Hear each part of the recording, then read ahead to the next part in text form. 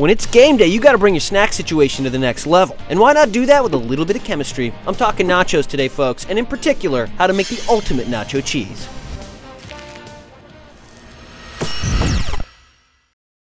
You can basically break nachos down into two camps, real melted cheese and goopy processed cheese. Both have their benefits, but some nacho chefs aren't too thrilled about the flavor of cheese from a pump and prefer a nice melted cheddar. But what if I told you you could have the best of both worlds, that processed cheese texture alongside that real cheese flavor?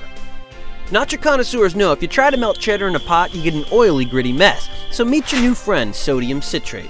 Also known as an emulsifying salt, this stuff can help you melt your cheese into a silky smooth textural delight. If you want to blow your friends' minds, get online and buy yourself some of the stuff as soon as possible. When you get it, here's what you do to make a phenomenal nacho cheese or just a regular old cheese dip. First put a pot on the stove at low to medium heat, then take one cup of your favorite beer and pour it into the pot. Grab your sodium citrate and add 2 teaspoons, stir until dissolved and bring that thing to a simmer. Take 4 cups of your favorite cheddar or Colby or Jack or whatever kind of cheese floats your boat and slowly stir it in there until it's nice and smooth. To take it to the next level, you can add minced peppers or a dash or two of your favorite hot sauce. And remember folks, this recipe covers the basics, you can get clever.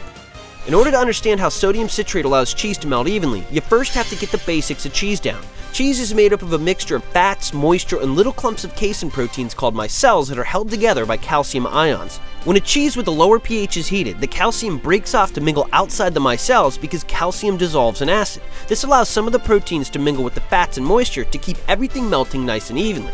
If the pH is too high, the calcium stays put, which keeps everything in place except the oils and moisture which escape the cheese when heated up. Hence your oily, gritty mess. I'm gonna keep it really simple for you folks. The key to sodium citrate is that it's in the business of straight up calcium robbery. When introduced to cheese, citrate ions bind with the calcium that's usually helping keep the micelles together. This bond pulls the calcium ions away from their posts and replaces them with sodium ions that are happy to leave their old citrate partner.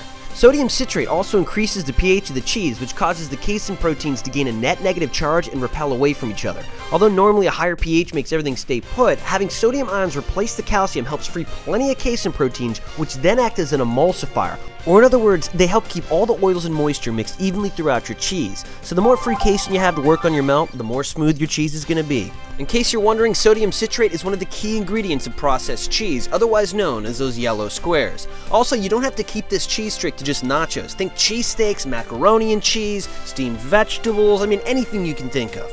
If any of you out there tried this out, let us know how it went in the comments, and bonus points if you came up with a new recipe or way to use it. Thanks for watching, folks. We've got plenty more food chem on this channel. Check out these two videos if you're interested, subscribe, and hit thumbs up on the way out.